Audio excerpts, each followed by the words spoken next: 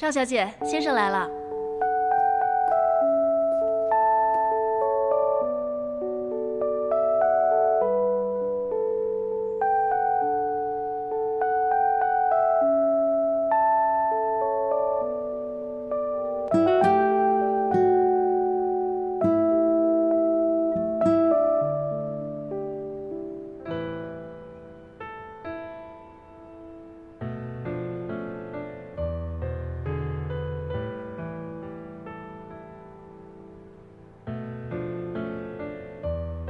这是准新郎吧？不是，他是备胎。看来又是被正主临时换上来的。呃，呃，我先下去准备一下首饰。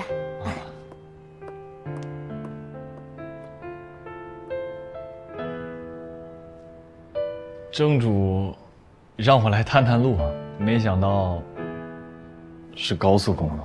那我走。陈慕白又不会来了，对吗？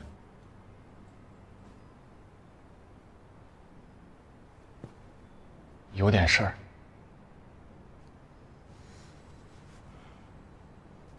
我真的很想知道他到底对我哪一点不满意啊？长相、身材，还是性格？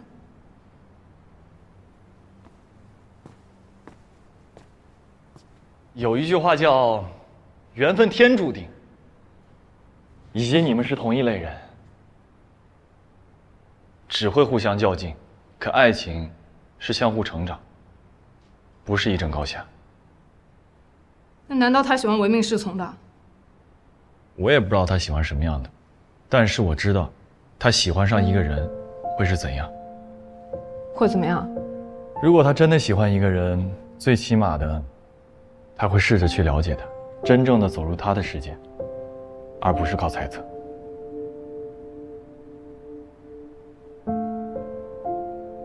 那没什么事儿，我先走了。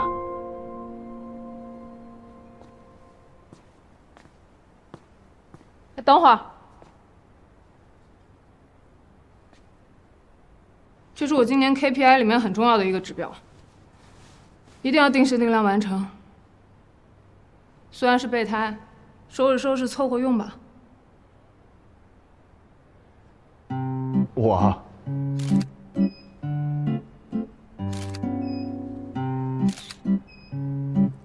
果然是人靠衣装啊！谢谢，听得出来，确实是在夸我。再换个姿势，背靠背。别想多了，让你站这儿只是当个参照物。好，二位稍等啊，我去换个镜头。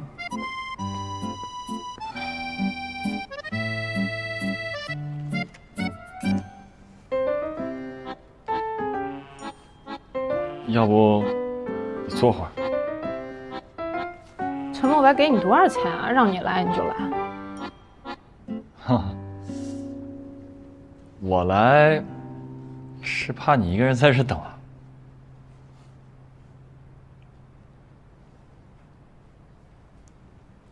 嗯，其实有个问题我一直很好奇。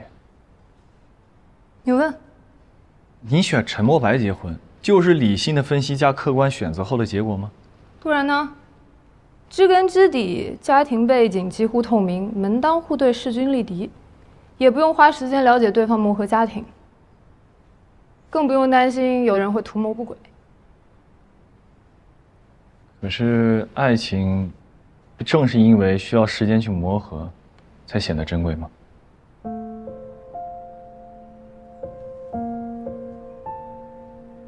来，二位，久等了，我们继续啊。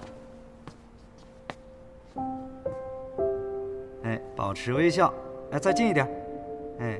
如果爱情都像你说的那样需要磨合，那我就不需要爱情了吗？三、二、一。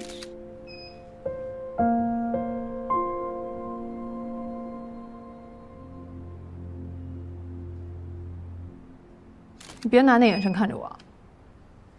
此时此刻，我可能不知道自己要什么。但是我非常清楚知道我不要什么。看镜头，看这里。摄影师，麻烦你到时候帮我把他的头 P 掉，P 的一点都不剩，谢谢。好，没问题。来，三、二、一，